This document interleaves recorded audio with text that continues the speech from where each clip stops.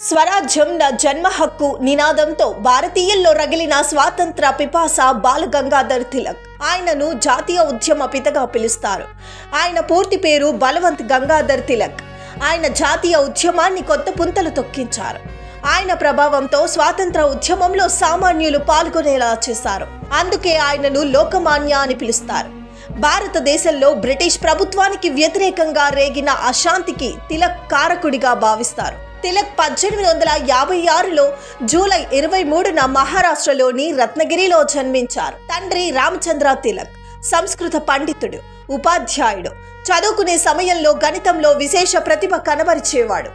చిన్నప్పటి నుంచి అన్యాయాన్ని సహించని గుణం ఆయనది నిజాయితీ ముక్కుసూటితనం ఆయన సహజ లక్షణం.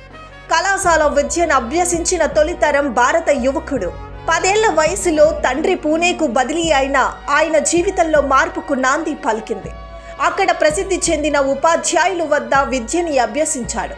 పూణేకు వచ్చిన కొంతకాలానికే తల్లిదండ్రులను కోల్పోయాడు. మెట్రికులేషన్ చదువుతున్నప్పుడే సత్యభామతో పెళ్ళయింది పద్దెనిమిది వందల డెబ్బై ఏడులో గణిత శాస్త్రంలో ప్రథమ శ్రేణిలో పట్టభద్రుడయ్యాడు. ఆ తర్వాత ఎల్ఏబి పూర్తి చేశాడు. పద్దెనిమిది వందల తొంభైలో కాంగ్రెస్లో చేరాడు. దానిలోని మితవాద రాజకీయాలపై నమ్మకం కోల్పోయాడు. స్వరాజ్యం కోసం పోరాడటమే సరైన మార్గమని నమ్మాడు. అప్పటి వరకు ఏడాదికి మూడు రోజులు సమావేశమై బ్రిటిష్ వారిని పొగడటం అర్జీలు ఇవ్వటం నిరసనలు తెలపటం మినహా మితవాదులు ఏ కార్యక్రమం చేపట్టడం లేదు.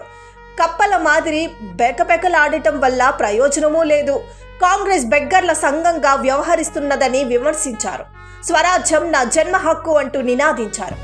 పంతొమ్మిది వందల ఏడు సూరత్ కాంగ్రెస్ సమావేశంలో పార్టీ రెండుగా చీలిపోయి అతివాదులు పట్టు సాధించారు. ఆ సమావేశం నుంచి తిలక్ ఆయన వర్గం బయటకు వచ్చారు. శివాజీ గణపతి ఉత్సవాలు పెద్ద ఎత్తున నిర్వహించటం ద్వారా ప్రజలను సమీకరించటం జాతీయ ఉద్యమం వైపు నడిపించారు. స్వదేశీ ఉద్యమానికి శ్రీకారం చుట్టారు. నత్తనడకన నడుస్తున్న జాతీయ ఉద్యమాన్ని కొత్త పుంతలు తొక్కించి వేగం పెంచిన ఘనత తిలక్దే. దాంతో ఆయనను బ్రిటిష్ ప్రభుత్వం దేశద్రోహం నేరం కింద ఆరేళ్ళు ప్రవాస శిక్ష వేశారు. జైలులో ఉన్నప్పుడు గీతా రహస్యం పుస్తకం రచించాడు.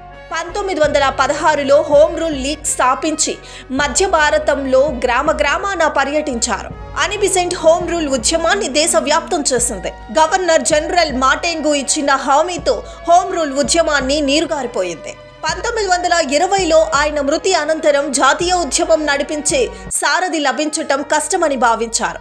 కానీ లాల్ పాల్ బాల్ త్రయం తరువాత జాతీయ ఉద్యమ నాయకత్వం గాంధీజీ చేపట్టడంతో స్వాతంత్ర సాధన మరింత వేగవంతమయ్యింది.